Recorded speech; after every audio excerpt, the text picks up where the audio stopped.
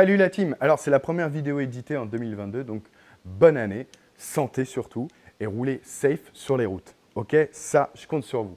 Donc comme vous venez de le voir, Most a sorti euh, des mètres cylindres de frein avant pour moto. Euh, et donc du coup, ce sont des mètres cylindres de frein radio, ce qui est plutôt euh, dirigé vers des motos qui roulent sur la route où tu as besoin de beaucoup de pression et de beaucoup de freinage, notamment les supermotards et les sportives. Voilà. Et en même temps, on a fait en sorte que ces mètres cylindres de frein Most matchent au niveau des couleurs avec nos euh, leviers d'embrayage Most également. Donc du coup, vous avez maintenant les deux couleurs identiques pour avoir un poste de pilotage cohérent. Alors, des mètres cylindres radio, c'est quoi? C'est tout simplement parce que le euh, piston est en mode transversal et ça veut dire que le levier attaque directement le piston sans avoir un petit levier. Voilà. Donc ça, c'est du direct et ça permet aussi d'avoir un piston plus large pour avoir une puissance de freinage plus importante. En même temps, euh, ces euh, leviers sont réglables en écartement grâce à une vis micrométrique très précise. Voilà. Donc comme sur les motos de course ou les supermotards de course, euh, vous avez le liquide de frein, le bocal de liquide de frein qui est suspendu, qui est plus intégré directement sur le mètre cylindre. Donc ça, c'est très racing et ça permet d'avoir quelque chose de vraiment qui fonctionne très très bien, qui a un super feeling. Voilà. Donc ça, c'est un mètre cylindre type radial. Donc là, on a quand même un produit très bien, qui fonctionne très bien, à un prix plutôt contenu. Voilà. Donc, euh, on va voir tout de suite avec euh, Matt qui va vous faire le montage, et surtout parce que le montage, c'est que là, c'est en diamètre 22. Donc du coup, qui dit diamètre 22 dit que ça monte sur tous les guidons. Et alors le montage, ça reste simple, mais après, il faut purger le système hydraulique pour le faire fonctionner. Donc ça, c'est quelque chose qu'il faut le faire bien, puisque c'est un organe de sécurité. Donc on va voir tout de suite avec Matt, qui va vous montrer comment purger votre système de frein avant. Aujourd'hui, présentation, montage de notre euh, mètre cylindre radial MOST avec euh, la durite qui va bien, euh, tout ça, c'est de l'organe de sécurité. Donc, on va vraiment faire étape par étape pour vraiment faire un travail dans les règles et qu'on soit en toute sécurité. On va aussi, et c'est le plus important, on va faire la purge de ce système de frein. La purge, à mon avis, il y a autant de techniques que de mécaniciens dans le monde. Donc, moi, je vais vous donner celle que j'utilise, qui est simple. Il n'y a pas besoin d'avoir du matériel spécifique. On sait par exemple, d'habitude, je vous avoue, je ne m'embête pas, j'utilise ça. C'est quelque chose qui se branche sur l'arrivée d'air, donc il faut avoir un compresseur, il faut avoir le matériel. Mais ça se fait très bien sans avoir cet équipement. Nous avons besoin bien évidemment du DOT, MOST, tant qu'à faire. Un petit coup de lock-tit pour euh, freiner, pour bloquer complètement les banjos. Et le brake cleaner, parce que le DOT c'est très très très agressif, très très très corrosif. Donc la moindre goutte qui tombe quelque part, on nettoie vite, on nettoie vite. C'est pour ça que d'ailleurs, j'ai des petits bouts de chiffon, j'ai des petits bouts de papier. Ça, mettez-le de côté. En plus de notre mètre cylindre radial Most, ici en noir pour aller avec la moto, on est parti donc sur une durite, aviation bien évidemment, avec des banjos à visser. Ça permet vraiment de donner les angles qu'on veut. On a un banjo droit ici et on va voir après, on a un banjo avec un peu d'angle en bas. Euh, on peut réussir à monter avec le banjo d'origine. Le banjo d'origine a un angle ici qui, qui est à 90 degrés. Pour vraiment faire un montage dans les règles, j'ai préféré partir sur ce produit.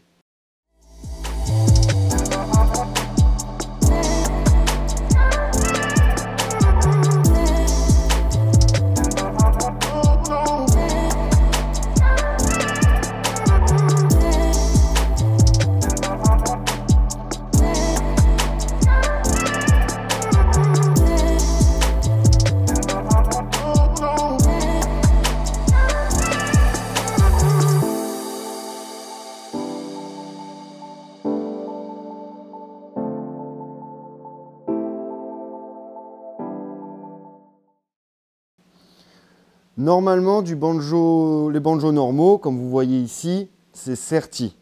C'est ce qui se fait, c'est ce qu'il y a de plus classique. Ici, donc, on a vu, on va utiliser des banjos à visser. Comme tout le monde, je me suis posé la question si vraiment ça ne posait pas de problème, si c'était sécurité. Donc là, vous avez mon scooter de course qui roule depuis deux ans avec un Béringer et un gros étrier 8 points. Donc je peux vous dire ça freine très très fort. Et depuis, donc comme vous voyez, c'est de la durite à monter, ça n'a pas bougé. La seule chose pour vraiment être sécure, c'est que j'ai collé les euh, banjos au moment de les serrer. Pas besoin d'en mettre une tonne, mais on ne veut pas que ça se desserre. Il ne faut pas non plus que ça aille boucher le conduit, parce que les conduits à l'intérieur sont particulièrement petits.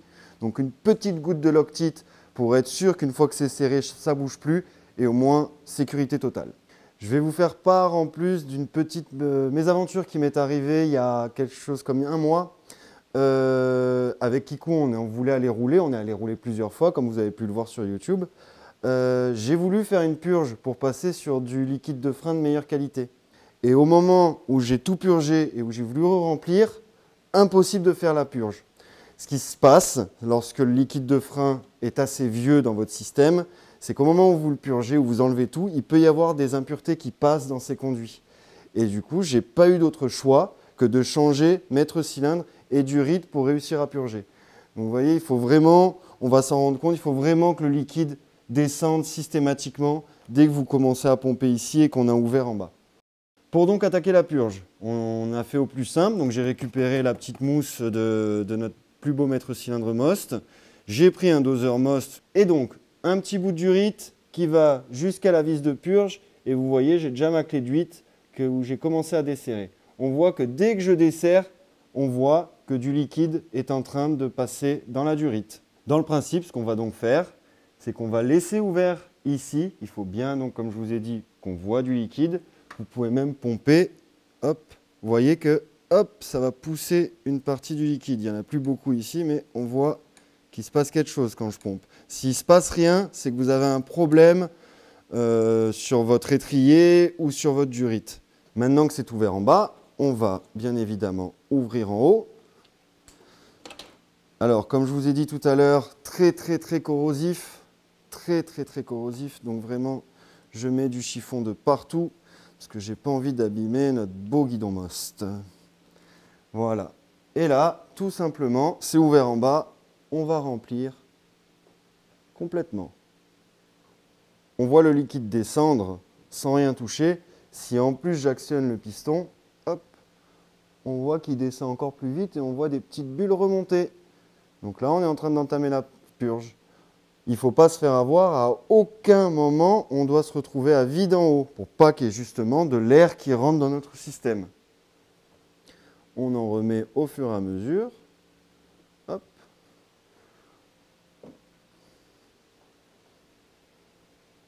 Et si vous regardez en même temps la durite d'en bas, on voit qu'il y a du liquide qui passe, mais il y a aussi les bulles qui sont en train de sortir en bas doucement, doucement. À chaque coup de piston, on voit le niveau de liquide descendre. C'est bon signe. Donc on voit encore qu'il reste de toutes petites bulles.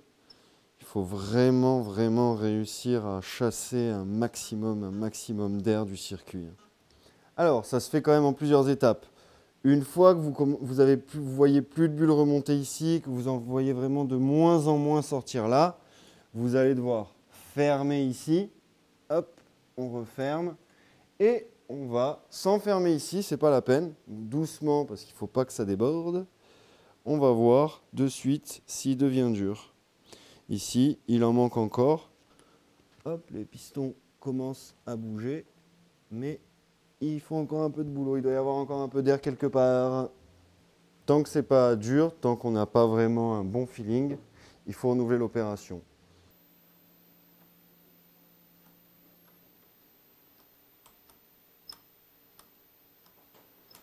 Très bien, doucement. On va le refaire encore une petite fois, mais voilà, vous savez tout pour faire votre purge. Donc on a dû s'y reprendre trois ou quatre fois. À mon avis, vous aurez la même chose à faire, mais il faut être patient. Faut vraiment prendre son temps pour ce genre de choses. Voilà, donc on commence à avoir vraiment un, freinage sympathique.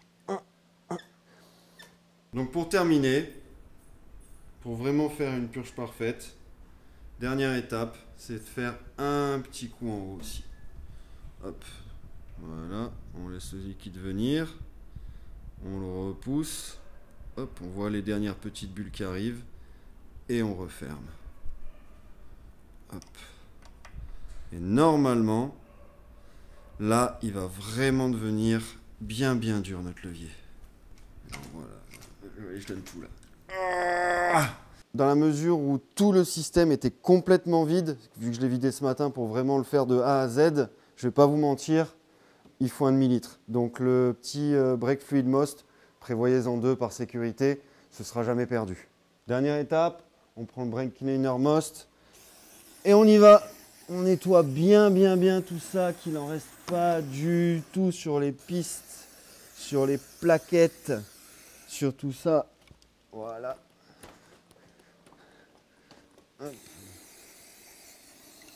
Voilà, sachant que ça, c'est fait pour, ça va s'évaporer entièrement. J'espère que cette vidéo a été assez explicative pour que vous puissiez faire vous-même votre purge de mètre cylindre de frein avant. Et pour vous aider davantage, rendez-vous sur le blog Scoot Fast Garage. On a fait une page avec les pièces linkées directement, toutes les pièces que vous avez besoin, notamment les durites, euh, les banjos, les liquides de frein, un peu tout. Donc allez-y directement et vous allez trouver votre bonheur. Et puis surtout, à la prochaine vidéo, n'oubliez pas de vous abonner, la petite cloche en bas. Allez, salut les gars, ciao ciao